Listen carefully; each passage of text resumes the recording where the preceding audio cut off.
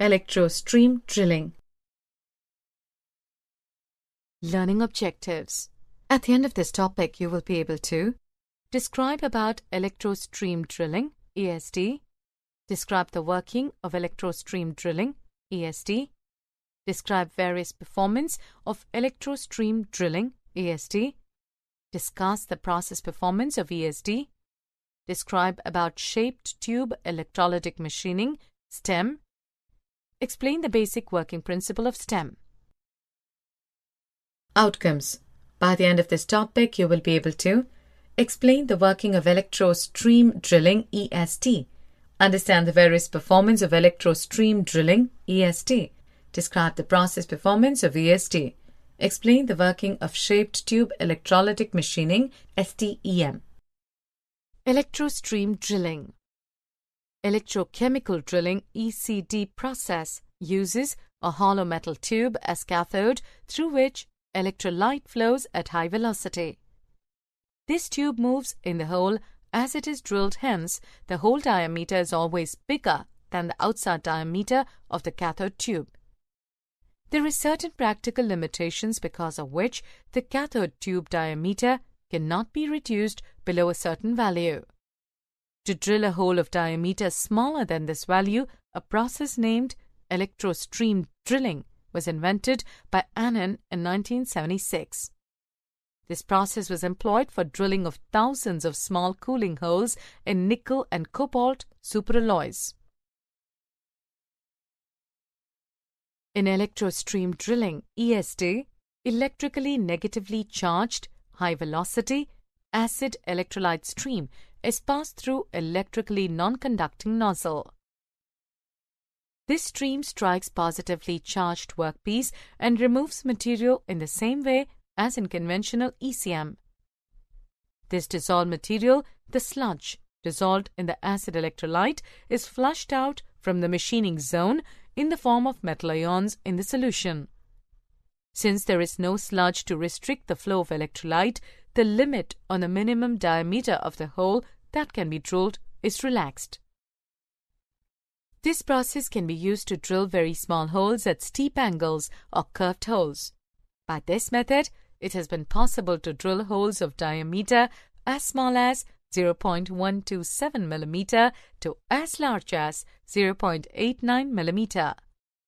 But the voltage used during ESD is very high, say 150 to 850 volts.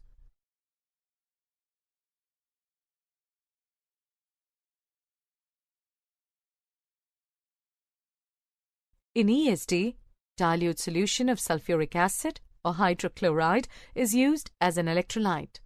Hydrochloric acid has proved to be a better electrolyte for drilling materials like aluminum, titanium, etc. Sulfuric acid is the electrolyte preferred for drilling in carbon steel, cobalt alloys and stainless steel. ESD can be performed in two ways. Dwell drilling by giving no feed or zero feed rate. Penetration drilling by providing finite feed to the nozzle. Dwell drilling. This method is used when shallow and less accurate holes are required. This technique is also employed under the circumstances when workpiece configuration or machine capabilities do not permit movement of the nozzle. Nozzle tip is fixed at a predetermined distance from the work surface and drilling is done by the electrolyte stream, but it limits the depth of the drilled hole and obtainable accuracy. Dwell drilling. This method is used when shallow and less accurate holes are required. This technique is also employed under the circumstances when workpiece configuration or machine capabilities do not permit movement of the nozzle. Nozzle tip is fixed at a predetermined distance from the work surface and drilling is done by the electrolyte stream, but it limits the depth of the drilled hole and obtainable accuracy. Dwell drilling. This method is used when shallow and penetration drilling. It is used for deep and accurate hole drilling. During ESD, the nozzle is fed towards the workpiece with a finite feed rate to maintain a constant inter-electrode gap. IEG. A gap sensing device is used to monitor the current being drawn to slow down the feed and trigger full power when the proper nozzle workpiece gap is detected. Components of machine and fixtures must be made of acid-resistant materials. Nozzle designed for drilling round holes are made of glass tubing that is drawn to a small diameter, thus forming a capillary at one end. If a hole in the cavity is to be drilled at such an angle that the line of sight axis is not available, a tool with a right angle bend at the tip is used. The outside diameter of the nozzle tip should be such that it fits within the hole being drilled as well as allows room for the repeatable escape of the used electrolyte. The length of the small diameter part of the tube should always be slightly greater than the depth of the hole to be drilled.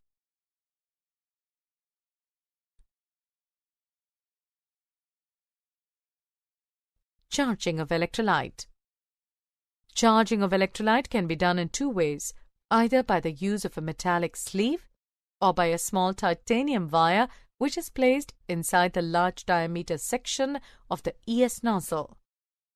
Metallic sleeve or titanium wire is kept as close to the throat as possible. Multiple nozzle applications require the use of a junction manifold with individual wires running from the electrolyte manifold to each nozzle. Process performance of ESD The ESD process is being used for drilling holes having large depth and small diameter, that is, high aspect ratio. In penetration drilling, 40 is to 1, and in dwell drilling, 10 is to 1, in any electrically conductive material without affecting its properties. The maximum depth to which holes can be drilled in dwell drilling and penetration drilling are 5 mm and 19 mm respectively. Machining rate that has been achieved in single nozzle or multiple nozzles as many as 100 holes is 1.5 mm minutes in Versa 1.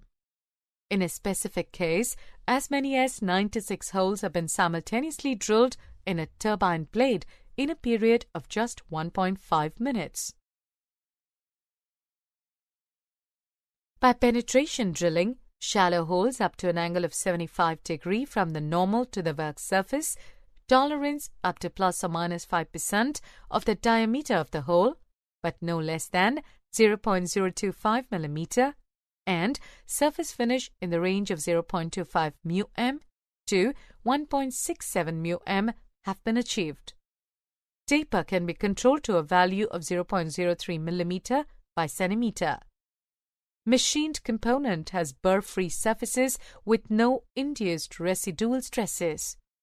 There is insignificant HAZ, heat affected zone, and no tool wear. Electrostream drilling has bell mouth hole entrance. To increase the production rate, simultaneous drilling of small holes is done.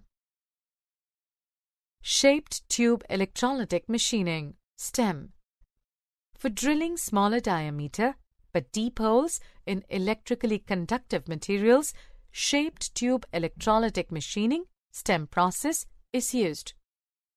Shaped tube electrode drilling is quite commonly done in aerospace industries and difficult to machine superalloys. It was developed primarily for drilling high aspect ratio up to 300 is to 1 round and shaped holes in turbine engine airfoils. It uses acid-based electrolyte which ensures that the reaction products formed during electrolytic deplating are dissolved and carried away as metal ions. It eliminates clogging of the electrolyte flow path around the electrode. STEM uses an electrode as a hollow, shaped tube covered with insulating coating on all exterior surfaces except at the tip. Working of STEM STEM is a low voltage process, 5 to 15 direct current voltage. At higher voltages, drilling rates can be increased, but boiling of electrolyte, plating of electrodes, and damage to the electrode coating may lead to serious problems. Feed rate depends on the machining parameters. However, it can be as high as 5 mm per minute against a normal feed rate of 1.5 mm per minute. Value of the overcut can be changed by varying the applied voltage and electrolyte flow velocity with the help of computer control. During STEM, taper obtained is 0.015 mm per centimeter and surface finish achieved is 0.8 to 3.1 μm. Surface finish depends upon work material and machining parameters. Electrolyte normally used is 10% concentration of sulfuric acid or hydrochloric acid in water. Temperature of electrolyte is maintained between 37 and 40 degrees Celsius.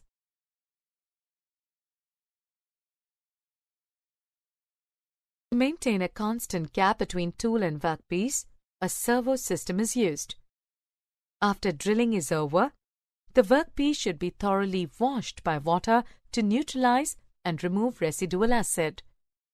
Multiple electrodes, even with varying shapes and sizes, would be able to produce as many as 100 holes simultaneously.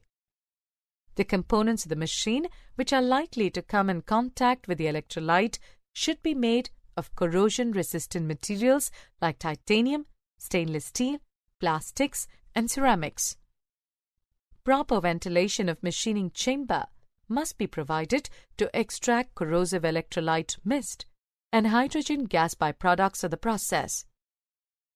Tube material is pure titanium to resist acidic action of the electrolyte.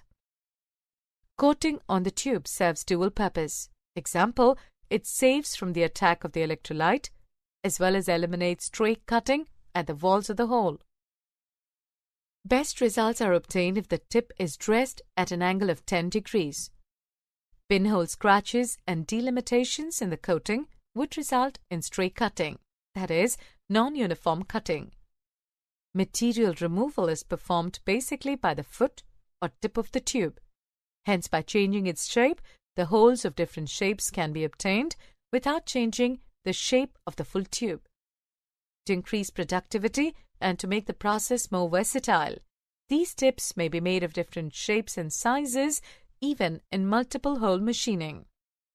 An alternative method is to make these tips as independent, separate, bit type of tube of the desired shape and size, and then fasten by threading or otherwise them to the bit holder or electrode. Electrolyte mist and hydrogen gas byproducts of the process should be properly removed from the machining chamber. Summary Let's summarize the topic. In electrostream drilling, ESD, electrically negatively charged, high velocity, acid electrolyte stream is passed through electrically non-conducting nozzle. By ESD method, it has been possible to drill holes of diameter as small as 0.127 mm to as large as 0.89 mm.